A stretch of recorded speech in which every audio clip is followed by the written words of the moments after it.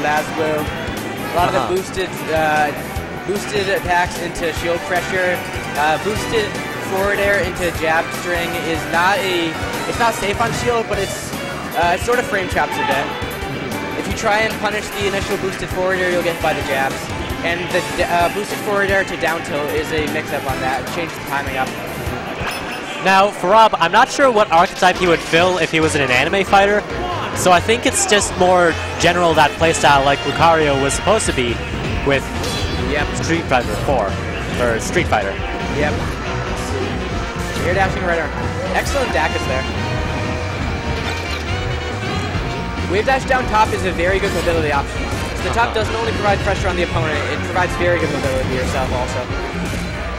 Another big thing about this matchup is that Rob will get punished really hard by Luigi, while Luigi won't exactly get those same get punished the same way. Yep.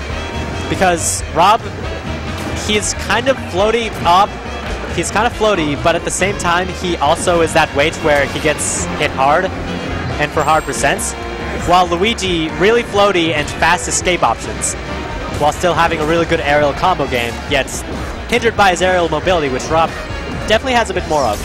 Oh, sniped with a laser! snipe. Wow. Rob also has a very, very large hurt box, which will hurt him in this matchup especially. As Nair can break out of Luigi's Nair can break out of combos very low percents, very high percents also. Nothing Uh-huh. is really guaranteed against Luigi. Maybe forward air to down smash. I doubt that even. Uh-huh. K-Wills with the Randy misfire as he often likes to do. Now, the thing about Comb specifically is that he sometimes SDs, and generally it's he SDs more than the average player. So that's why I'm going to be a bit more hesitant when he's off the ledge and Yep. potentially get stuck onto Smashville. Shoutouts to SD problems. That feel. Alright. Good top pressure there. K-Wills uses a lot more fireballs than many other Luigis I've seen. And he does sort of lead into his approaches. Uh, fireball to wave dash and down smash is common for him. F-tilt also. They're very good options to sort of pressure a space from mid-stage, basically. Comb tried to go for the Robo Hoo-Ha there, Oh unable to get it. Luigi's just so floaty. K-Will's got the wave dash and down smash, which was actually crouch canceled by Comb, and you would think he would be able to punish, but Luigi just slid right through, which is just a testament to Luigi's mobility both on the ground and at times in the air. Nice Dacus to catch K-Will's off guard on the ledge. Well, not the ledge, but the platform, getting him to the sock. I imagine the Rob's up smash usage in this matchup is somewhat similar to Fox's up smash and Fox Jigs, where he's looking to sort of catch his falls, uh, catch his landings on the ground with up smash, keep him juggled. Because although Luigi does have a lot of options to get out of juggles, he's at a weight where he can be kept above you. He's incredibly floating. Uh-huh. Wow, that almost killed.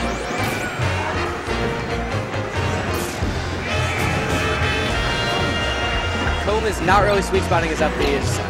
I wonder if Kales will catch on to that soon enough. Now, I think the neutral is a really important part here because both of them have a lot of mobility. Rob with the air on stage, Yep. while Luigi with the wave dashes and down Bs on the ground. So a lot of burst movement is going to be put into play here. Oh, that's Wow. that was nice. Luigi has the up, well, Yep. the down B. Misfire is very difficult to space around unless you're prepared for it. So Comb just played it safe there, which is definitely good. Uh huh. Yep. Rob's up throw is a kill throw at higher percents. I don't know about this patch, but in the previous patch it was a very, very good kill throw with Kodoran. Oh, 120. wow. second snipe of the match! Evens it up like that. Wow. Yep. So as I was saying earlier, I think that the neutral is really important in this match because both of them have projectiles, both of them have ways to mix up their approaches, and both of them can hit hard if they get in. Yep. I'd like to see a, a bit more wave dash and shield from K-Wills. Looks like uh, Comb is sort of seeing his wave dash and then trying to put a hitbox out there. And if K-Wills did wave dash and shield, then he could punish the hitbox as it came out. Uh-huh. It's very good against players who try and catch your own approaches with uh, hitboxes instead of shields or something. Now, a smooth thing that Comb just did there, which I'm not sure if it was intentional, but he comboed Luigi into a top by hitting him downward to the right. Wow. And I wish that he was able to get something off of that, like maybe even a kill, because then that would have been a great Giphy. Very good stage awareness. Up. Oh, you should. Oh, oh, unfortunate. Just barely dying there. Yep.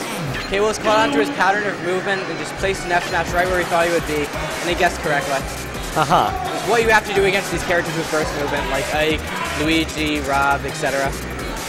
Shouts to the PMDT saying on the changelog they're intending to remove burst movement. and now we're watching Rob Luigi. Alright. I'm thinking that this set will go to WarioWare because then he gives K-Wills a lot less room to mix up his approaches. Yeah. While he can still control a lot of the space with the top and the lasers.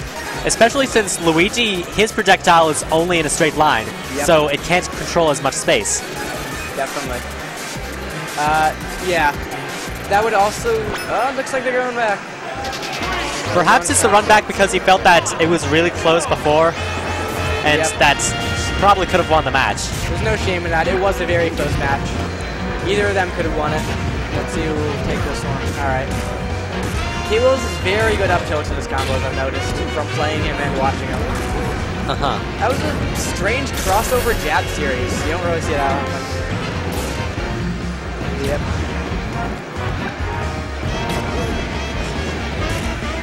I'm not exactly sure how well this stage would go on Rob because while he does have a lot more stage presence than Luigi with the laser. Wow. Oh, he's just getting so many laser kills. Can we change the This is balloon counter incredible. to a laser counter? yeah. One big similarity among these characters is their recoveries are intimidating at first. They're able to put out hitboxes very quickly. Luigi with his potential misfire, people being afraid of his uh, forward air and up air as he's recovering. Same with Rob and his boosted aerials. The one thing you need, do need to realize in this matchup is their recoveries are very, very punishable. They do not go very far. Oh, Uh, oh, both of them. that was very unfortunate on both ends. Okay, so what I think happened there was K-Wills thought that he landed on stage when he hadn't, so his down B from the previous recovery was still used, and he wasn't able to recover, and he just dropped like a rock. However, Comb, he was trying to predict Luigi to go back and fade back a bit, so he went really deep and then kind of suicided before he had a chance to react to the fact that he didn't hit K-Wills and was really far off stage. One of K-Will's strongest points as a player is his shield awareness. He's very good at pressuring shields and he has very deep understanding of uh, exactly how to pressure shields, especially with Luigi, which is a character which doesn't have that many frame-safe moves. He does it mostly by positioning and hit, attacking the back of shields. Uh-huh. Yep. Let's. Alright. Can definitely bring this back, as we see right there. Wave dash in, up smash. Alright. It's not even, but it's doable. It's definitely doable for us. Good hitter Shoutouts to the balloon counter. I hate the balloon That counter, is, to be honest. I think it's hilarious. I was talking with the fungo earlier about it. It's terrible. Balloon counter is the worst. Please kill. Alright. There's a very good last second air dash there. Luigi was primed with the up smash. Luigi is a bit tough to kill for Rob, as most of Rob... Wow. I was about to say that most of Rob's kill options are fairly slow to start up, but he proved me wrong right there. I think that with the Dacus, it's made up because the startup, Yeah. the startup is a lot longer than if it's just used normally. Yep. Well, in general, it's a lot longer, but the Dacus, the startup is used as he's approaching, so it leads to a very fast kill move if he gets the good read. It's also very deceptive, especially if you do it from the center stage. You can see a lot of Game & Watch players like Bees do uh, Dacus center stage, and a lot of players like Freeze, Dacus Detect Chase. Those are two of the main usages for it. Uh-huh. Kalos can definitely still bring this back. Just Right now- one up smash.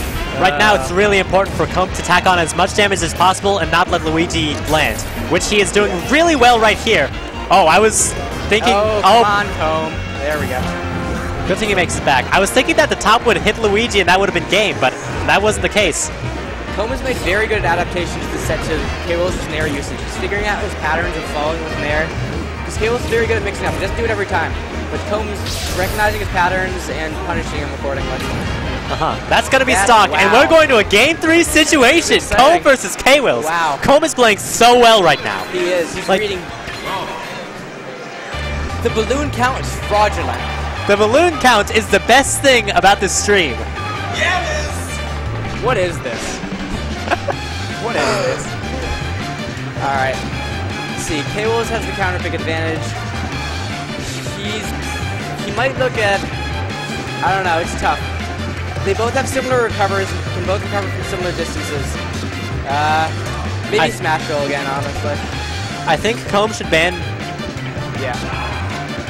I'm not sure how good his platform game is, but I think that he should have banned FD because K. Will's burst movement can't be escaped at all from there unless you're in the air, in which Luigi, if you have him above you, you're in a really good position, but if he's below you, then you have a problem because he can just wave dash around, catch you in the air, and even get a couple nairs and up airs. Luigi Alright. going to Delfino though. This is a jank stage. All right, let's see. It is So, eh. I like the counter pick from K. Wills. Yeah, I agree. There's a lot of uh, horizontal space here for him to move around. Good crouch cancel there by Comb. Comb is seeming very, wow, is very aware of K-Will's movement. He's adapted very heavily. He's basically calling him out wherever he's going. K-Wills can definitely adapt though. He's a strong player. Oh, does four, four, four air dashes in a row. I think he ledge canceled the second Yeah. one and second or third one, Wow. and that was kind of incredible movement. However, right now he's not in the best positions. Luigi up. However, he gets back to stage and it's about even. Oh, it's oh, oh a read on baby, that was an amazing top combo by Comb. Wow. Rob's top and laser are very, very good projectiles. They're some of the best in the game, in my opinion.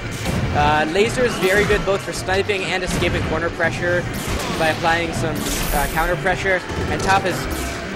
Uh, K. Wills suicided twice this set, and while it wasn't exactly as detrimental in the previous game, it's a lot worse right now because now Comb can just take all this 3%, getting 40% off of what probably should have been a stock reset. Down throw, Rob is too high of a percent to get a follow-up. Apparently he's that floaty. I didn't think that he was. A lot of Luigi's throw follow-ups can be escaped with proper DI. If you DI away, there really isn't much Luigi can do. Sort of like Uh-huh. Marth in that respect. There's a Marth percent for Luigi. Best bet is probably wave dash and up smash or down smash. Don't go off stage there, K-Wills. That would have been cool if Uh, So right now Komen's getting the reversal, but I think it would have been really cool if he got the reversal off of the top that bounced off the wall because it had a really close call to K-Wills. K-Wills able to close that stock off right now. Really necessary if he wants to come back in the set. wow. He does not want to be down 3 to 1 on Delfino's secrets. Oh my! Oh, come on. Oh my! This just This hurts to watch this right is now. Unfortunate. This is very unfortunate. Is a very strong player. Don't be fooled by his performance. You've seen him in previous games. He's very strong. Como also has adapted very heavily, though. Even without the SDs, it's still pretty definitely in Comb's favor here. Yeah. Uh, Comb knows to keep Luigi in the air. Oh. And, well, yeah. Comb knows to keep Luigi in the air, and Rob has a lot of the tools to do it with up air, up smash, down smash, popping them up into the air. Yep. Keeping Luigi up there, really important. Down smash, I've actually noticed him, he's catching a lot of the burst movement, which I think is really good on his part. I think this is going to be game set match, like, right here.